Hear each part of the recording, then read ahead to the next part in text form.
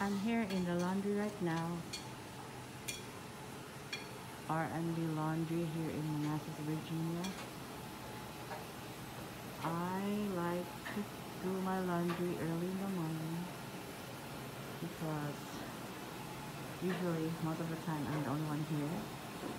It's not crowded and the place still very clean.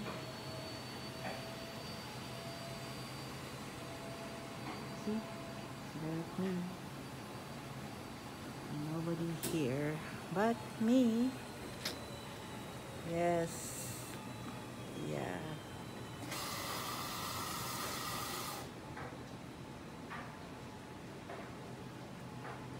And there's a big laundromat.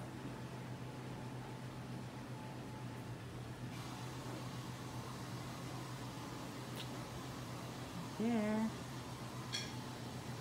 Clean and there's one other customer.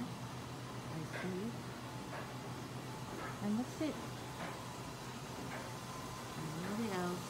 That's why it's better to go to a laundromat very early in the morning. Well, actually, I'm late. I came here around 5.30 in the morning.